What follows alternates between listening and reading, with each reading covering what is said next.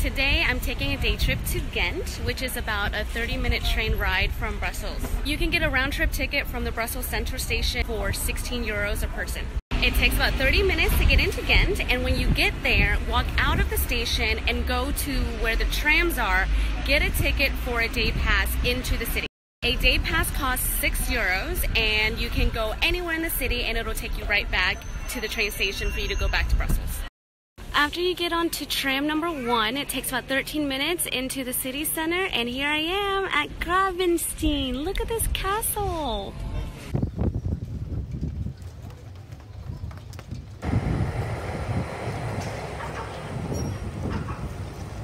Ugh, it's so cold in the Jeep. Stopped by this random ass cafe, and I ordered pig's head with mustard, and I was hoping like big chunk of meat would come out. But this is what I got. So it just looks like, um, what, what the fuck is that? It's like a sausage? Like a pate style? I don't even know. But this mustard here is definitely a lot spicier and stronger than the German mustard. Mmm, this one actually tastes good. Okay, now I am in the Castle of the Counts, and it costs 10 euros for one adult.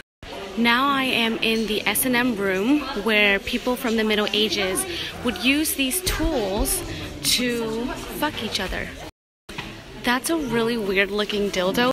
So this looks like a guillotine. It's used for fuckboys.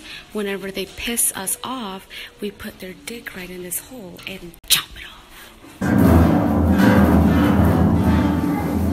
And this was the bondage room that they used in the 15th century.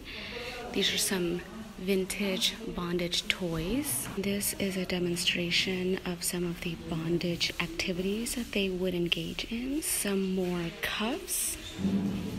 This is a rather large anal bead. I'm not sure how gaping their assholes were back then. This is a pit.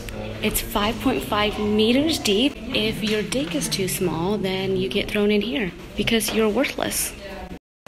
I'm just kidding. It's not always about size, but it is.